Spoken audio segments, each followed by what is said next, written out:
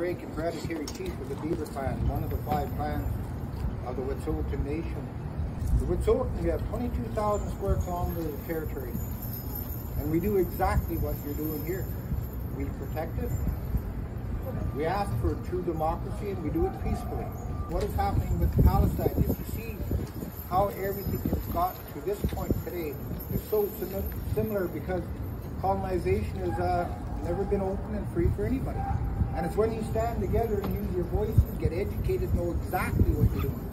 That's where you make huge changes. I'm very honored and privileged to be here in front of you today because you are the future. You are the ones that will make the change.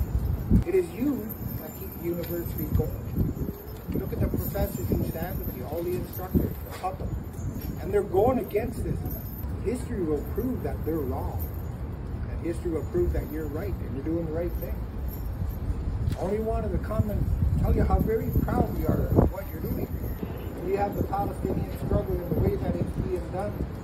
It is you that will make that difference. It's you that will keep it on the world stage because you will make that change. And you've already won because you're still here. You'll be here today, you'll be here tomorrow. You'll be here every time that something unjust happens